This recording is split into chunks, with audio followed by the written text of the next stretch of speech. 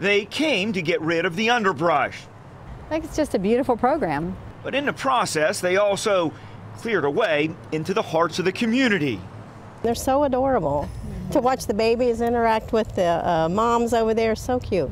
You know, it's just good for the soul. You know, people are bringing their kids here and they're learning a lot about goats and what they do for the environment. Despite the thorough job the goats have done, the program is in jeopardy after six were attacked by a dog. Three adults and three young goats have been removed and remain in a vet's care. Some are severely injured. The dog was seen on this security camera, but with such a substantial fence guarding the animals, there are questions about how the dog got inside and if a person helped to facilitate it.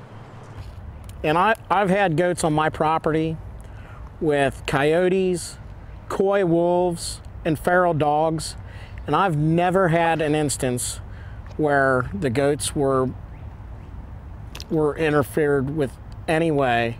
Mike Woosty is the goat's owner is heading up the program. It's hard for him to even get the words out when he thinks about the attack. What we want everyone to, to realize is that, that these goats were not just a part of our family, but they became a,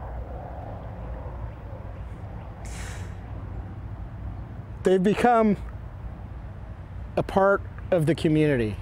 Now, police and the SPCA are investigating to see if there's more than nature behind the attack. Now, the goats are still here at this point, but they tell us they'll be gone by the end of the day. Brian Hamrick, WLWT News 5.